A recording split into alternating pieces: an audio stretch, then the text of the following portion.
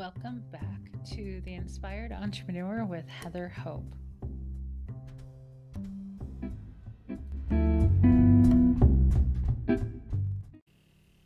Hey, welcome back, everyone. This is Heather Hope with the Inspired Entrepreneur podcast. Happy, happy Sunday. How's your weekend going, guys?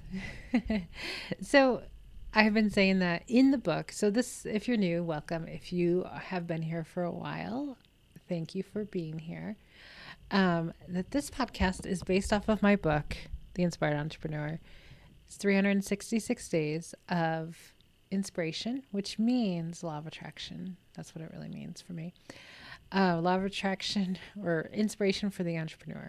So we talk about uh, law of attraction based primarily off of um, Abraham Hicks's work, infinite intelligence, source, that sort of stuff, with business and money and life and love and everything. Because how you manifest one thing is how you manifest everything. Okay, so I've been saying it's 366 days, which in this year we don't have leap year.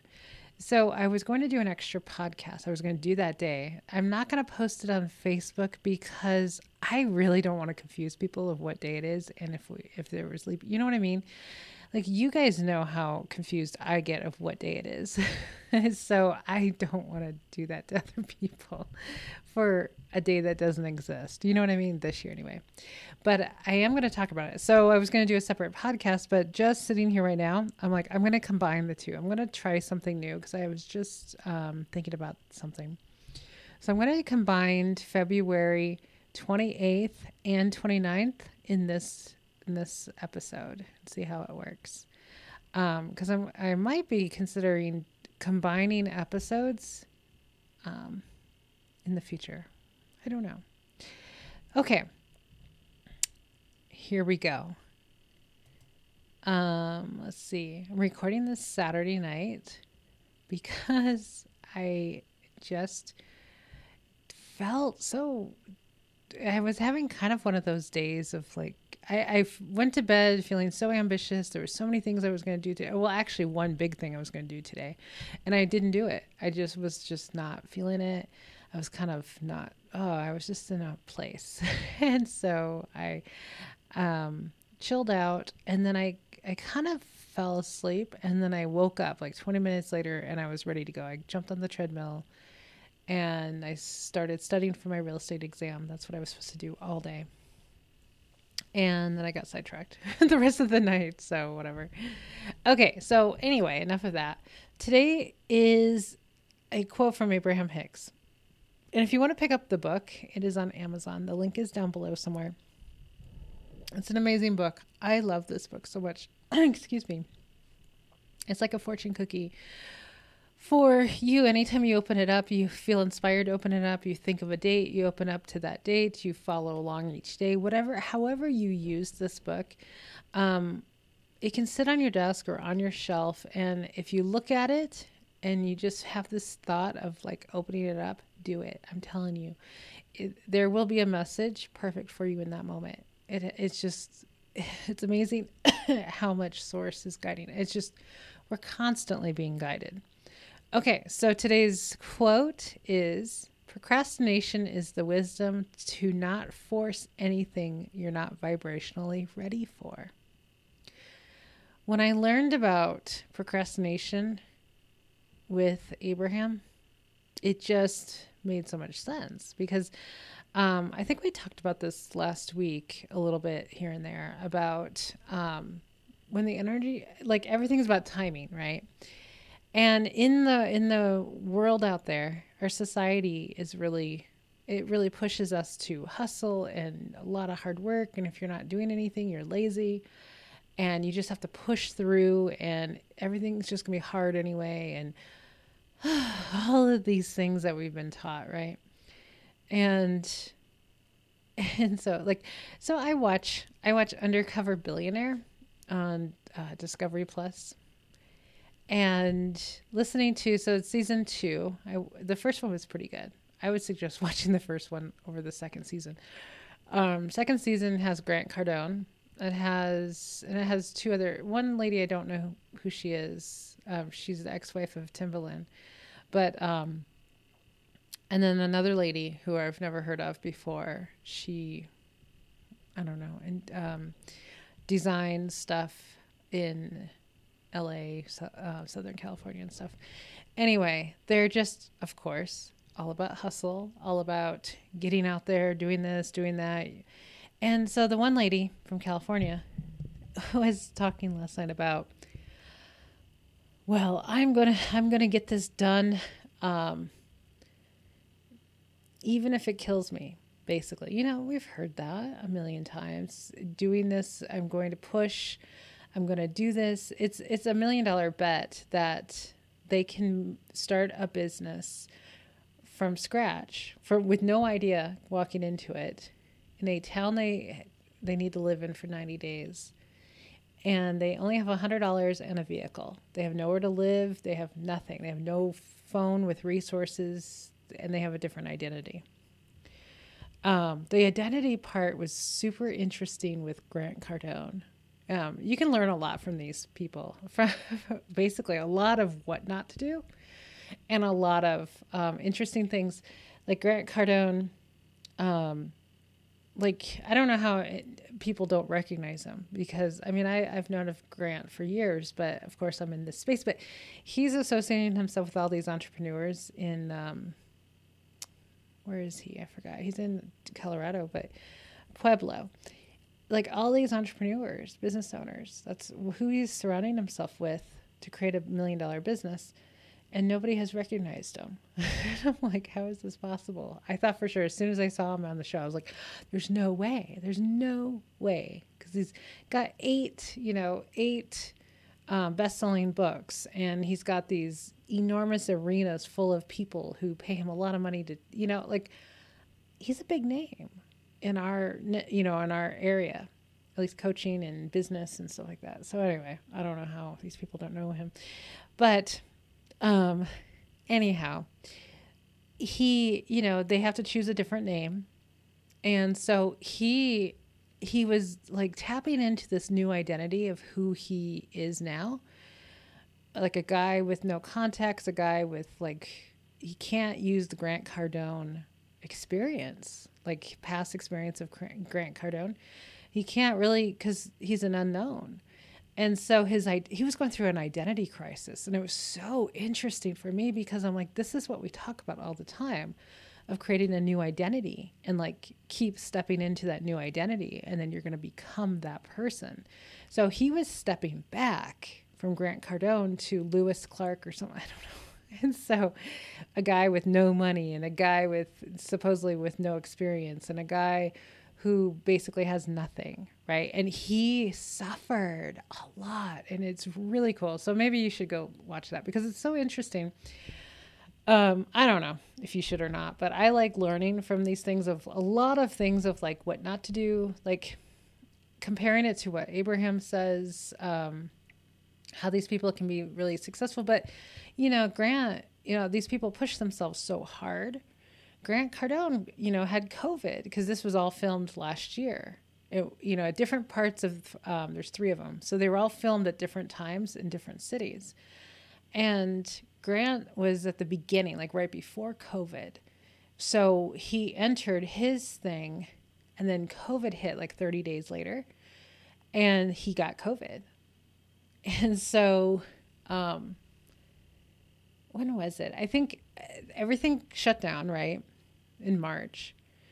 And so they shut down production of the show and, until they couldn't film the show. So they sent him back home and which sucked because he was building a lot of momentum and he didn't want to lose it. So he had to go, I don't know how long he was gone, at least like a month, maybe longer. And he comes back and very quickly he came down with COVID. He, he caught COVID. Now it's it's funny these little cities that they are sent to. One's Pueblo, one's Fresno, and one is um, up in Washington. Where is she?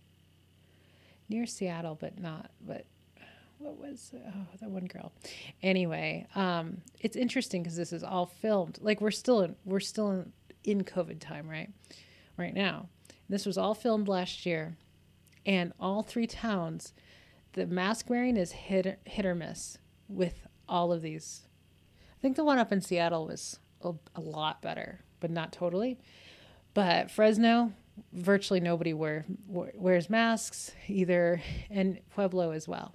Like literally nobody during like this was all filmed. Like they shut down. He came back. He's wearing a mask now because he had covid and now he knows how serious it is. Now okay i'm going to get off my bandwagon now but i'm just saying.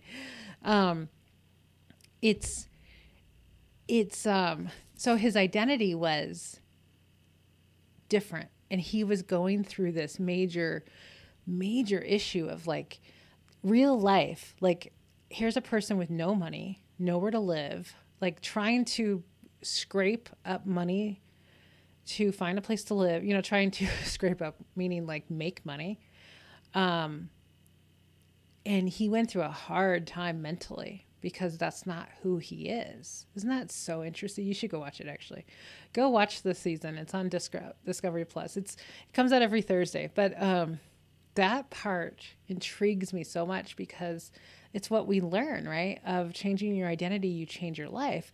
He has this enormous life, and he had to change his identity to this person with no life, basically, starting from scratch, no money, no career, no job, no, you know, nothing. And he had, and the bet is that he can make a million dollar company, a valuation of a million dollars in 90 days. So it's, it is a lot of struggle and it's a lot of, you know, a lot of anyway that's enough of that show. But so we're taught to do all these things. Now procrastination is timing but also energy not being lined up.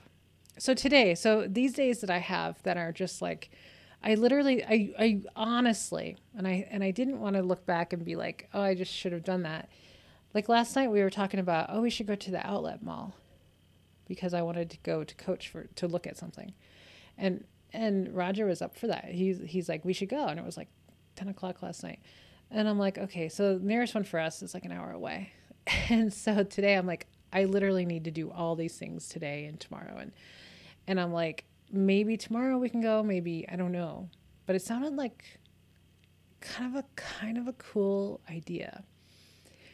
So, me not really feeling like doing anything or taking an exam or studying for real estate, you know, all these things that I had planned to do, I was like, I wonder if we should just go to the outlet mall because me like trying to make myself do something I don't want to do is not doing anything. Like I'm just not doing anything. And so I probably should have just went to the outlet mall. You know what I mean? Like sometimes you just have to do the thing that sounds fun. Now, actually, all the time you have to be doing the thing that sounds fun because the other things, if you're really trying to push a wet noodle, it's not going to be pushed. Like that's where the hard work and and all of that plays in, and then you get very little results because there's no energy there. There's no inspiration there. So, you know, so I don't know what I should have done today. It's okay. You know what I mean? Like I, I don't beat myself up over it, but maybe tomorrow I will. Maybe maybe I just need to take this weekend off from majority of the things and just start new on Monday. You know what I mean? Like sometimes we have these great plans because we feel good in the moment. And then when the time comes, we're just like, oh, really don't want to do this. Whatever reason, it's just not lined up. I meditated this morning. It was wonderful. I had a great morning. I was very productive. And then it was just like, eh, I don't want to do anything. so I, I don't know. Anyway, so procrastination is the wisdom. The wisdom to not force anything you're not vibrationally ready for. This is big. This is so big, guys, because one of the things that I know that humans do, most humans, they beat themselves up over the things that they didn't do or that they're not doing. Or, and I remember this a couple of years ago while I was learning all of this, I was like, you know, I've been, you know, working from home for many years now. And I used to beat myself up over the days that were not productive. I used to really hate it. I used to just just really dread all of this. I had lots of not so good feelings about everything in myself. Well, and then I learned stop doing that because it's not helping you at all and it's just making things worse. So I had to learn to be okay with the days that were not productive. Just be okay with that. Because if I wasn't, I was out of alignment. So I had to be okay. Like I'm okay today. I'm okay. It's everything's a learning thing. You know, it's a learning experience of like, well, maybe when I feel like this again and I feel feel like going to the mall or whatever, then I will go to the mall. Instead, I think I was just holding out hope that I was going to just snap out of it. And I kind of did for a minute. And then it just kind of didn't work. I just didn't feel I, because you have to have a, a certain level of concentration, right? You have to be really into learning something like real estate or whatever that you're going, you know, taking classes for. And it's, it's, you know, for a licensing type of exam, you know, you really have to know the stuff to pass. So there's a bit of pressure there. Even though I do have a lot of confidence in this subject, it's, you know, you start getting a little bit of like, but what if, you know, I don't know enough on that exam? You know what I mean? It's rare that I think that way, but it can happen in those moments of like not being so sure. Or like, what am I doing right now? I don't know. I'm wandering around the house aimlessly because I don't feel like doing anything. Not so good. Tomorrow I'll probably be on fire because I usually don't more I don't usually have more than one or two days in a row like that. So tomorrow I'll probably be fine and then I'll feel like doing a lot of things. Anyway, that's enough of that. Procrastination is the wisdom to not force anything you're not vibrationally ready for. So don't beat yourself up over procrastination. If you're procrastinating over some, you know, about something, really, um, you got to let go of that resistance because it's resistance. You can't tell yourself you're lazy. You can't tell yourself all these negative things. You can't listen to like Grant Cardone, you know. Like I don't I don't follow the guy, you know. I I did for a while back in the day, but you know, because I just don't, I never resonated with the hard work. I never resonated with the hustle and the grind and the, you know, oh yeah. So the lady who's who's doing all of this in Fresno on Undercover Billionaire, um, the one that's like, I'm gonna do this, even if it kills me. she almost sounds serious, like you know, and there she t- talks about you know she's got mil- multiple millions of dollars, right? She's she's been very successful. But um, she says she she puts like majority of her money into real estate and she eats a lot of ramen. She eats a lot of like she doesn't really treat herself too often on much, you know. And I'm sitting here like, for what reason? Oh, I had to pause. I paused the show a lot because Roger watches it with me. I pause a lot because I, I go on a little like, what? because I'm like, I paused it. I'm like, but what's the, what's the point? I don't even think she has children. I don't even think she's married. She she's not quite as bad as like Bethenny Frankel. If you know Bethenny Frankel, she's an absolute anxious person, and she's not nice to be around. So I mean, you know what I mean? Like she's ruthless, hardcore. Probably sleeps three four hours a night, and very type A, very difficult, but high anxiety, high everything, right? Very, you know. And uh, this, so this woman's not as bad as her for sure, but she's there. She's on that scale of lots of anxiety, lots of high energy, lots of kind of being ruthless, kind of being um, a lot. And, you know, if she lives now, uh, you know, well, like dying is, well, I mean, people die at any age. Doesn't really matter. But um, you know, like heart attack, um, stuff like that would probably be her because she has a lot of resistance. She's a visionary. She has tons of ideas. She, she's constant. She's a little high on edge. Um, but you know, not treating herself. She just wants all of her money into real estate. But I'm like, but when you die, what happens? You die rich in real estate. You die rich. Like, what is that? Like, you know what I mean? It's like one of those questions that you ask yourself. Well, do I want to enjoy life at full, you know, at the fullest? If you have millions of dollars and you just don't spend it, I mean, that's that's her life. I always end up with like, well, that's the reality she's choosing for her life. I choose differently. I always end up saying that about different people because I'm like, ultimately, ultimately, we always get to choose our own reality. So if you don't like somebody else's reality, good. You don't need to. You don't need to like anybody's reality except for your own. But it's just like I'm just like why? And then they're on TV and they have people that are influenced by it and and it's like, well, it doesn't resonate with me. I want to enjoy my life while I'm living in the material physical world, right? I'm not going to kill myself working, you know, 20 hours a week, trying, or 20 hours a week, that sounds nice, right? 20 hours a day under a lot of stress, you know, like that's never resonated with me. It's like, no, I'd rather not. no thanks.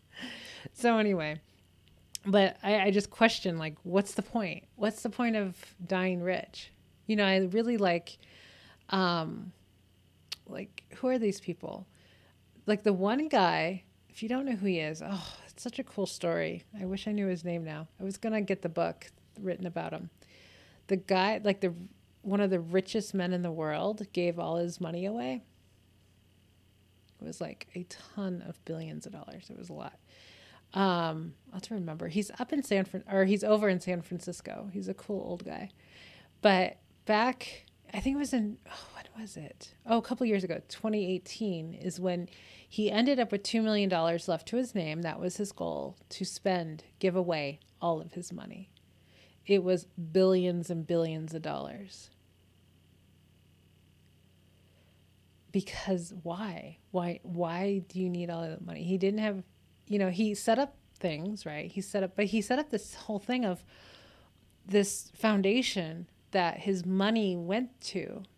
It was set up like legally to take all of his assets, all his money, and to give it to all over the place. He just, it was really, it's a cool story. It's a really cool story. So he ended up, he has a, you know, a two bedroom, you know, condo in, in San Francisco for him and his wife. And they're like in their 80s. And they have, they ended up with 2 million to their name to live the rest of their lives. And, you know, here's the thing he had a good time. Well, he's the guy who um, I think co founded, um, what's it called? Duty Free. The duty free all over the world. um, the shops, the alcohol, the d- duty free and airports and, and um, cruise ships and all of that. He's the co founder. Like, he's made a ton of money, right?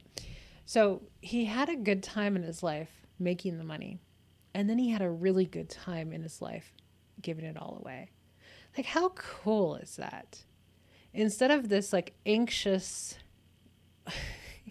woman who just wants to put all of her money into real estate and die rich and eat ramen. Like, I don't know. Like I say, they get to choose their own reality. It's like it's like the choose your own adventure books in school. you get to choose your own reality.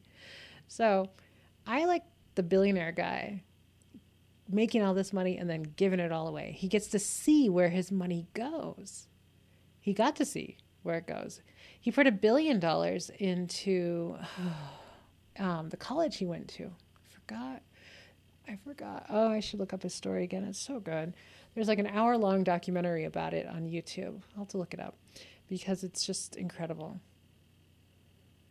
incredible. So, anyway, oh yeah, that's right. We're going to combine two. I was going to say goodbye, but let's combine the next one. Let's combine. So, February 29th, leap year. When's our next leap year, guys? I don't know. I, I think Roger said leap year was last year. So I don't know. It doesn't matter. So in the book, I added leap year because I'm I am always including everyone and everybody and everything. I don't want to leave anyone out. So let's get to February 29th. This is a good one. This is something I used to do every morning. So every morning I answer the question, Who am I? The identity I have created and keep expanding on is what I answer. I start my day as that person. Who are you? I think I got this from a coach I worked with a while back. Like, who am I? Just really, I have the journal somewhere, but I would write, who am I? I think I would write, like, write my reality first. Like, I'm a badass. I am um, a multimillionaire. I am all these things, right? All these affirmations that I put a lot of energy into it and I would read out loud, and that worked really well for a while. Um, and then I would write another page. I'm like, who am I?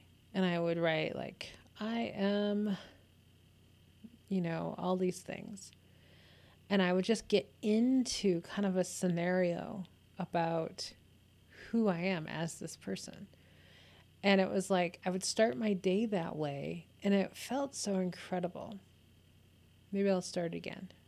I have, I have, I have so many rituals in the morning. It's funny, but um, yeah. So right, who am I? Decide because you get to decide who you are. You get to decide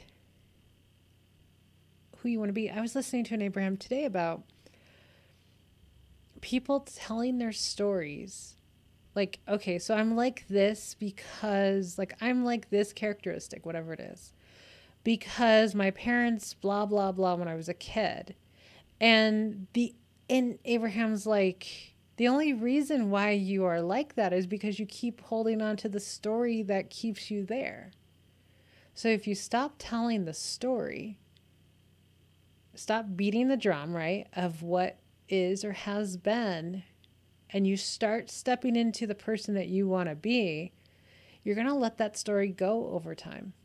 It's not going to be a part of you. Like I've said in the past, like when I compare myself now to who I used to be, it is night and day. It is absolutely, I'm a totally different person. I'm still kind of the same person, you know, kind of the same person, but I'm just so different. I am not shy. I am not quiet. I am not so many things, just so many things. I'm not self conscious. I'm not, oh my gosh. Like, and this just, I mean, this happened over time of, you know, personal development. And then more and more in the last couple of years with Abraham of like understanding, stop talking about your f- problems. Stop talking about who you used to be. Stop talking about everything that you didn't like about your past. Stop retelling the story because you're you're reactivating the vibration.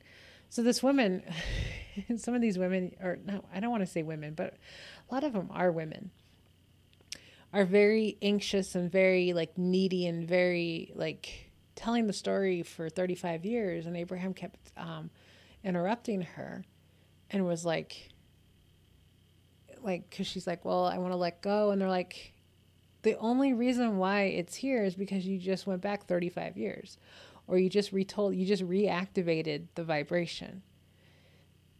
If you don't reactivate the vibration, it lies dormant and it will not reactivate until you talk about it like that. You know what I mean? It's not like it's there and it's doing all this damage. Like a lot of people believe subconscious is doing to you. Subconscious is doing nothing to you that is that's a big psychology thing that majority of the population believes. But Abraham says it's not true.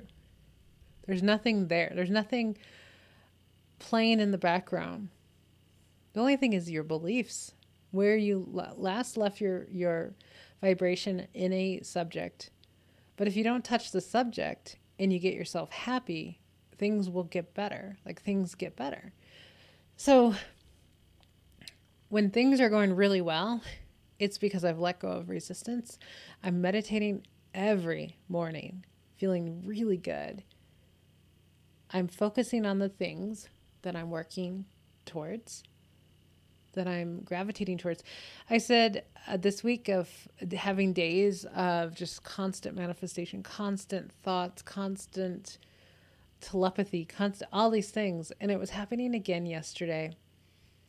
Um, oh gosh, it's just incredible. I, Roger said it again. He's like, because he'll tell the do- my dog Gizmo, he's like, okay, Gizmo, it's time to go.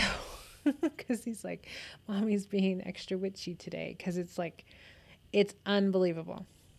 It's unbelievable the things that happen.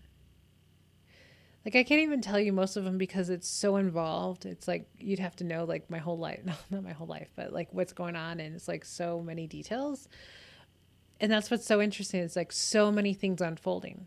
So the universe is like giving you breadcrumbs of to follow. And when you're in the receptive mode, you're going to pick up those breadcrumbs one by one. And over time, they're going to connect. You're going to be like, oh my God, it led me here. And that's how it was last night. Incredible. And then I'd be like having another, another thought to know something. And then, like an hour later, it pops up, pops up in my Facebook feed. I'm like, you're kidding me one thing after another after another after another with ease, with total ease. So get into a good mood. Don't stress out about anything, anything. Get into a really good, playful, happy mood and literally watch things unfold in front of you, just right in front of you, like with n- very little effort, like no effort. Most of these things have no effort at all. And it's like, things are so easy. Things are so easy because I've let go of all the worry, the doubt, the anything, anything let it all go. Okay, kids, I am going to go. The second day was super short, but let's let's let's let you go and so you can enjoy your Sunday, okay guys? So have an amazing rest of your day and I'll be back tomorrow. Bye.